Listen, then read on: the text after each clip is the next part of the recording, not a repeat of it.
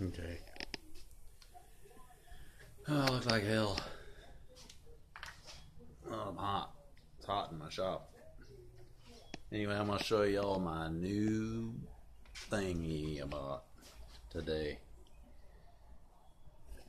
My brother actually was going garage selling and everything.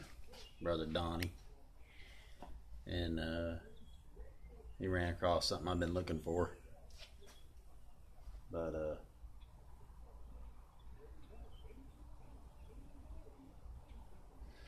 Anyway, here, oh, it is, an edger. It's a Craftsman edger trimmer.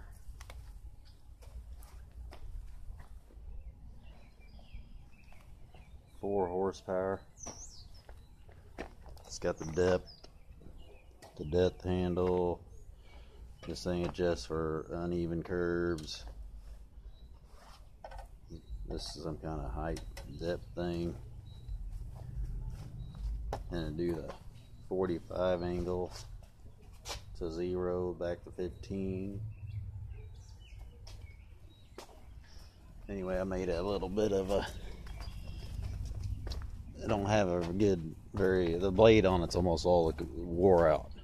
But I made that little trench at 30 degree angle.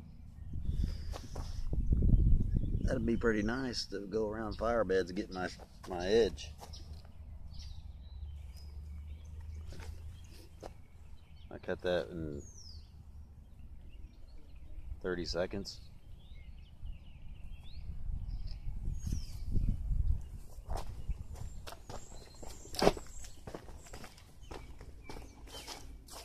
That seems to be pretty good. Ain't no oil leaks. I cleaned the car. Just put some uh, I put some stuff in the carburetor. I put some of this stuff in. Ethanol shield, fuel stabilizer. I bought it at Walmart about a year ago.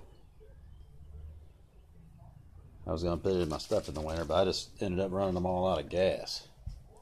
And that seemed to work pretty good, just running them out of gas in the fall when I don't use them. I just dumped the gas. Whoa. Sorry about that. I just dumped the gas tank. I need to shave. I hate looking like this. Or, I don't know. I just don't like it. It's hot.